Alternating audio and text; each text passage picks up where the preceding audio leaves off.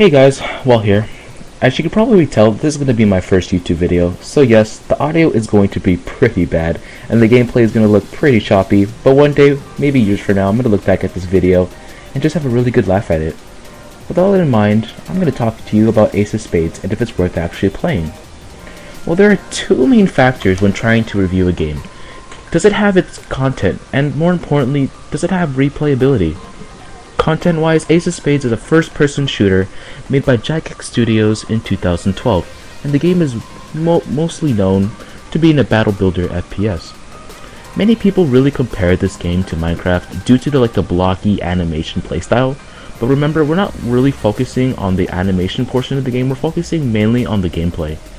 Personally, I do compare this game to Team Fortress 2 because both games consist of classes with different roles during their field of play.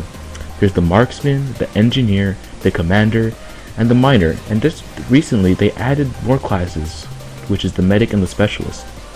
Well, does it have replayability? I have to say, pretty much so. There are different game modes and different aspects to change the game in a way you think suits best.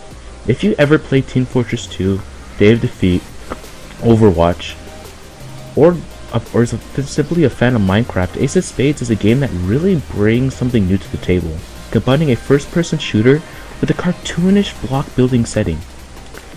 So overall, I do suggest this game without a doubt, and although it, it was rather popular back then when the game recently came out, it still has a strong community to back it up. And I'll put a link in the description below if you're really interested in this game. And that's pretty much Ace of Spades in a nutshell. If you made it this far, in some way, shape, or form, I really entertained you. And leave a comment below giving me feedback on what you think of the game personally. Most importantly, what did you think about my first video, and what do you want to see in the near future? And with that in mind, I'll see you guys next time, and without a doubt, take care.